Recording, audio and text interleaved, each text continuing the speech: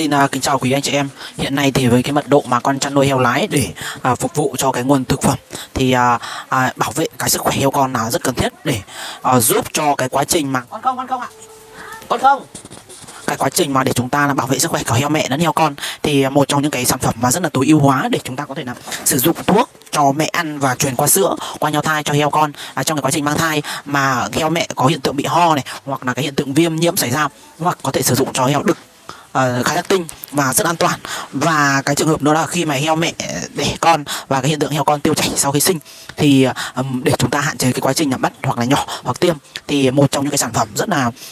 được những cái uh, công ty uh, phân phối và đem đến cái thị trường uh, trong cái uh, chăn nuôi heo lợn nái hoặc là tinh lợn khai thác tinh hoặc là heo con để sử dụng là an toàn cho heo mẹ này. Và uh, an toàn cho heo con trong giai đoạn non. Thì khi mà chúng ta sử dụng được cái sản phẩm nó chất lượng thì nó sẽ không ảnh hưởng đến cái quá trình sinh trưởng phát triển của uh, heo con và heo mẹ khi mang thai. Thì um, cái uh, sản phẩm này ứng dụng gần như là nó sẽ là cái chế phẩm sinh học ấy. Gần như nó là dạng chế phẩm sinh học. Thì để chúng ta có thể là an toàn tuyệt đối đó an toàn tuyệt đối thì chúng ta có thể sử dụng cái chế phẩm sinh học. Đó thì đây là cái sản phẩm mà Amoxi A cộng đây là cái sản phẩm mà hoạt chất của nó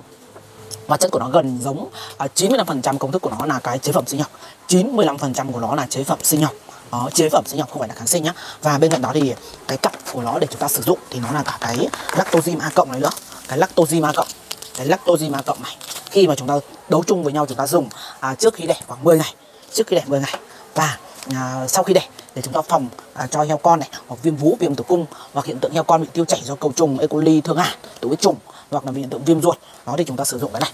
À, khi mà hiện tượng heo con chúng ta bị tiêu chảy Đấy, heo con của chúng ta bị tiêu chảy thì ăn cái sản phẩm chế phẩm sinh học này sau khoảng 3 ba hoặc 5 ngày thì chấm dứt ngay cái hiện tượng tiêu chảy. Đó là cái thực tế khi em đã trải nghiệm trên các trang trại nuôi. Thì đây là cái chế phẩm cắt chế phẩm sinh học để chúng ta sử dụng trong môi trường chăn nuôi heo uh,